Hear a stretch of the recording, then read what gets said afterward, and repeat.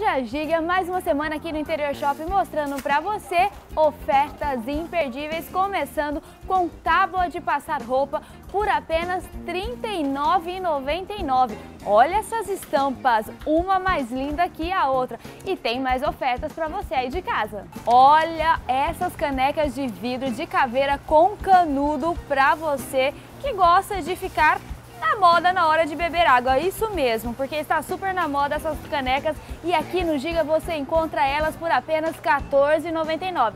Também tem outros modelos, claro, só aqui na Giga que você encontra essas e outras utilidades domésticas. E tem mais ofertas. Precisando de espelho para sua casa e também para decoração? Vem aqui na Giga. Olha esse espelho em três tonalidades por R$ 84,99. E você encontra a Giga em quatro endereços. Aqui em Aracatuba, na Anitta Garibaldi, em São José do Rio Preto, na Bernardino de Campo, esquina com a Silva Jardim e também na Voluntário de São Paulo e em Presidente Prudente, lá na José Foz. Corre para a Giga, a gigante da economia.